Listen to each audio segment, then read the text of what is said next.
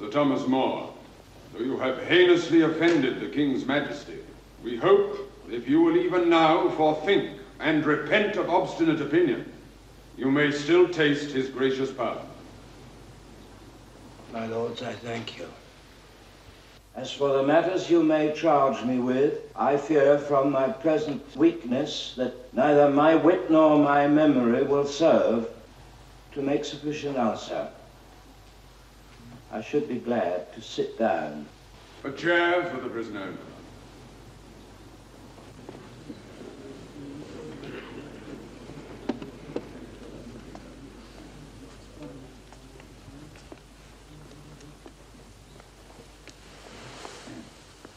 Master Secretary Cromwell, have you the charge? I have, my lord. Then read the charge.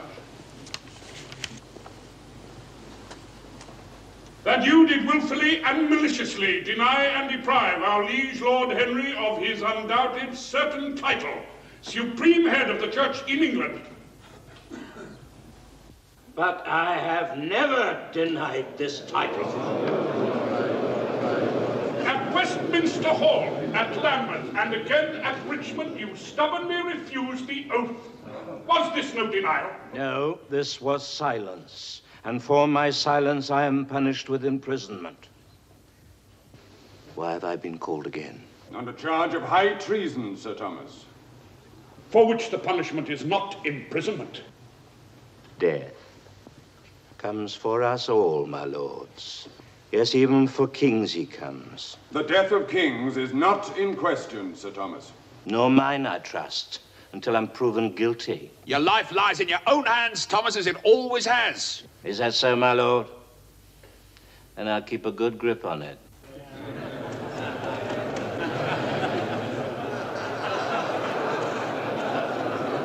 So, Sir Thomas, you stand on your silence.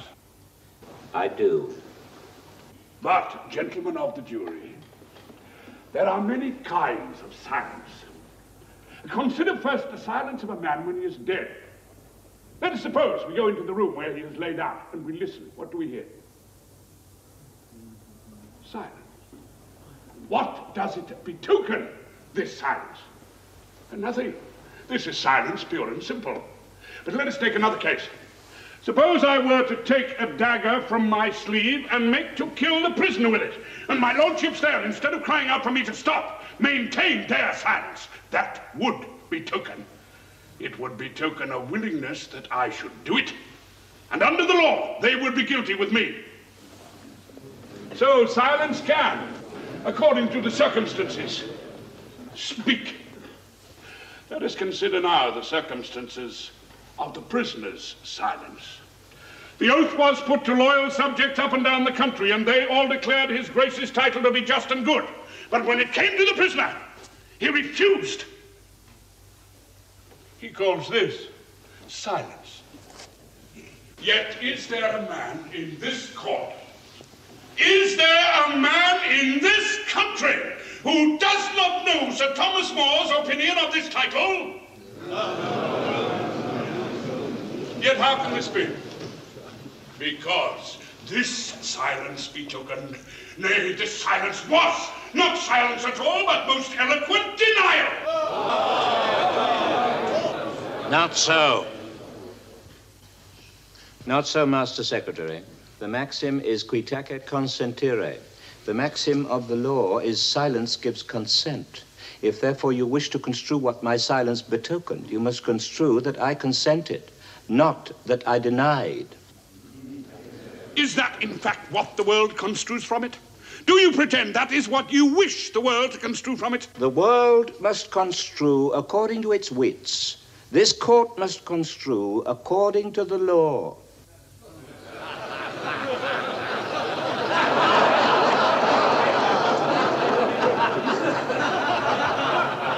My lords, I wish to call Sir Richard Rich. Richard Rich, come into court.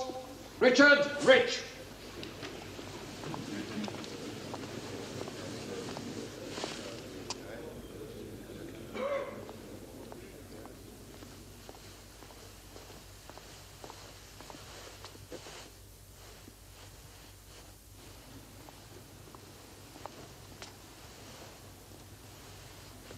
I do solemnly swear the evidence I shall give before the court shall be the truth, the whole truth, and nothing but the truth.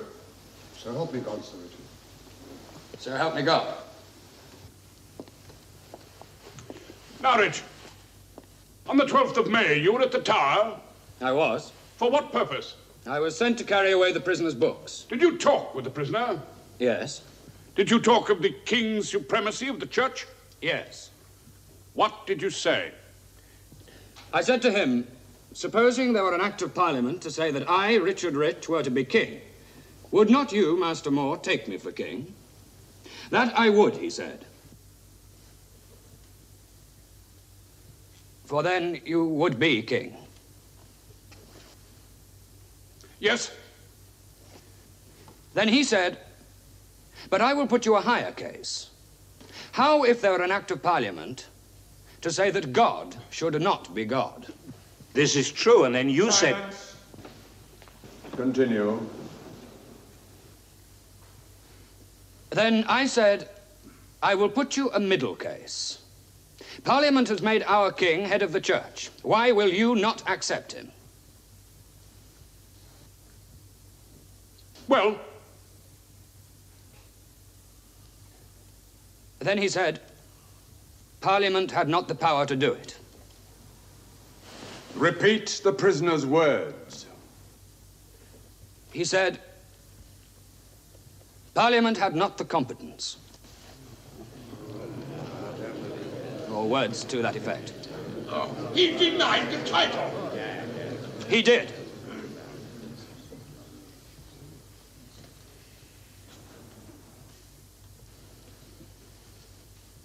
In good faith, Rich, I'm sorrier for your perjury than my peril. Do you deny this? Yes. My lords, you know if I were a man who heeded not the taking of an oath, I need not be here. Now I will take an oath. If what Master Rich has said is true, I pray I may never see God in the face, which I would not say were it otherwise for anything on earth. That is not evidence. Is it probable? Is it probable that after so long a silence on this the very point so urgently sought of me, I should open my mind to such a man as that? Sir Richard, do you wish to modify your testimony? No, my lord. Is there anything you wish to take away from it? No, my lord. Have you anything to add? No, my lord. Have you, Sir Thomas? To what purpose? I am a dead man. You have your will of me. Then the witness may withdraw.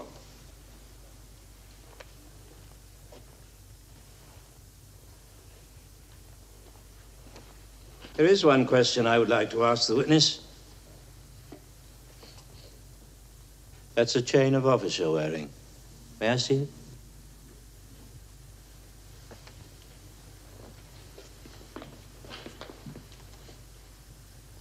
The Red Dragon. What's this? Sir Richard is appointed Attorney General for Wales. For Wales.